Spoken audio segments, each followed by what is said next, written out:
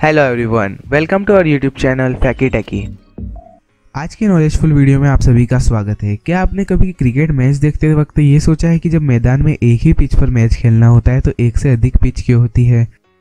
आप सोचते होंगे कि जब एक पिच खराब हो जाए तो दूसरी पिच पर मैच खेला जा सके तो आप गलत हैं। इस वीडियो को अंत तक देखें और जानें इस प्रश्न का उत्तर और कई रोचक तथ्य।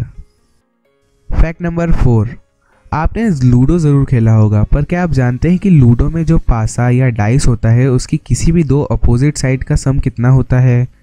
वो होता है सेवन यानी सात। डाइस में कुल छः फेस होते हैं।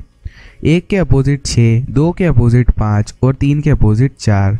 अगर आप इनमें से किसी भी पेयर को ऐड करेंगे तो सम नंबर सेवन आएगा।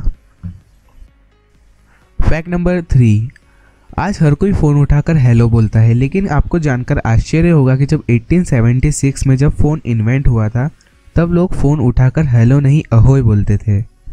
दरअसल फ़ोन के इन्वेंटर एलेक्जेंडर ग्राम बेल का मानना था कि फ़ोन उठाकर अहोय बोला जाए। लेकिन बेल के प्रतिद्वंदी महान वैज्ञानिक थॉमस एडिसन चाहते थे कि फ़ोन उठाकर हेलो बोला जाए। और 1880 आते आते हेलो को अहोय होय के मुकाबले ज़्यादा पसंद किया जाने लगा। इवेंचुअली सब लोग हेलो बोलने लगे। इसीलिए हम आजकल फ़ोन उठाकर हेलो बोलते हैं।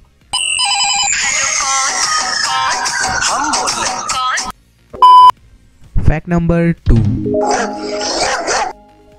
कुत्ते का ख्याल आते ही ज़ोर ज़ोर से भोंकने की बात जहन में आ जाती है। लेकिन क्या आप जानते हैं कि ऐसा भी कुत्ता है जो कभी नहीं भोंकता? जी हाँ। बसेंजी कुत्ते की एक ऐसी ब्रीड है जो बिल्कुल भी नहीं भोंकती। लेकिन इसका ये मतलब नहीं है कि वो कुछ आवाज़ ही नहीं निकालते। निकालते हैं, लेकिन वो आवाज़ एक सुरीली गाने जैसी लगती है। फैक्ट नंबर वन से पहले, अगर आपने हमारे चैनल को सब्सक्राइब कर दिया है तो आपका बहुत बहुत शुक्रिया। पर आपने अगर सब्सक्राइब नहीं किया है तो पहले सब्सक्राइब कर कर बेल नोटिफिकेशन ऑन करें, जिससे आप हमारी वीडियो सबसे पहले देख पाएँ।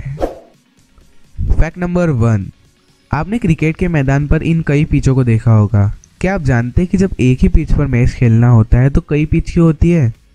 आप सोच रहे होंगे कि इस तथ्य के कारण हो सकती है कि अगर मैच के दौरान एक पिच खराब हो जाती है तो मैच दूसरे पिच पर कंटिन्यू किया जा सके।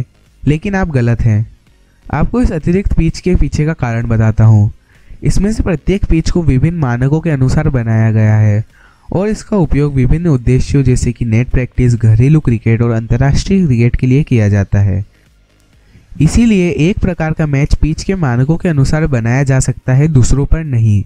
चूँकि सिंगल ग्राउंड, घरेलू अंतर्राष्ट्रीय मैच के साथ साथ नेट प्रैक्टिस की ज़रूरत को भी पूरा करता है, इसीलिए कई पिचों की ज़रूरत होती है।